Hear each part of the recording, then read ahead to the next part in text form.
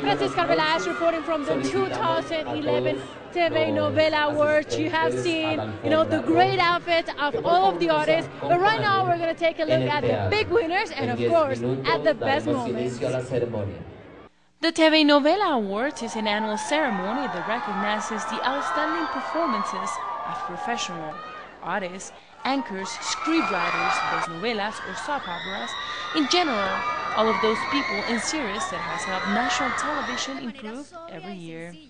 The evening began with a tribute to the late Gloria Valencia de Castaño, a very loved TV personality. Hablar de la vida de Gloria Valencia de Castaño es referirse sin duda alguna a la historia de la radio y la televisión en Colombia. And the moment that thousands of Colombians were waiting for, the big winners. Vicky Davila, who was not present at the ceremony, took home Best News Anchor. Vicky Davila! RCN Morning Show Muy Buenos Dias was also among the audience favorites. The evening progressed with the recognition to scriptwriter Fernando Gaitán. Protagonistas de Nuestra Tele, on the other hand, won Best Reality Show.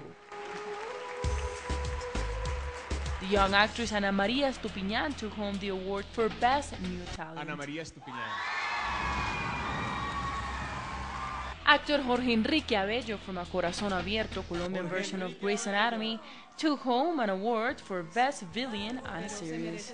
Since he was busy working, someone else took the award for him.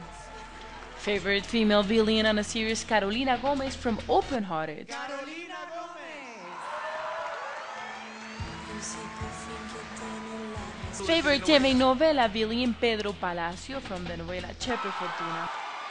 De Barranquilla. And favorite TV novela villain, Cristina Lili.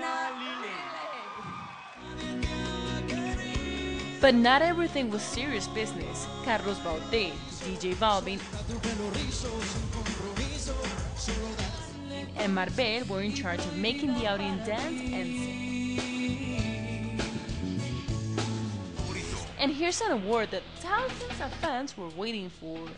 Best Entertainment Anchor Sergio Barbosa from Estilo RCN.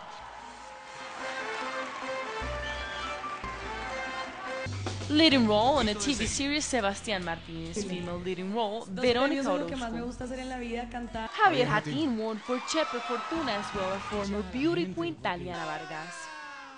Muy feliz, no puedo creer esto. Best Director, Sergio Cabrera. And finally, Best TV Series, A Corazón Abierto. A corazón abierto. Felicidades.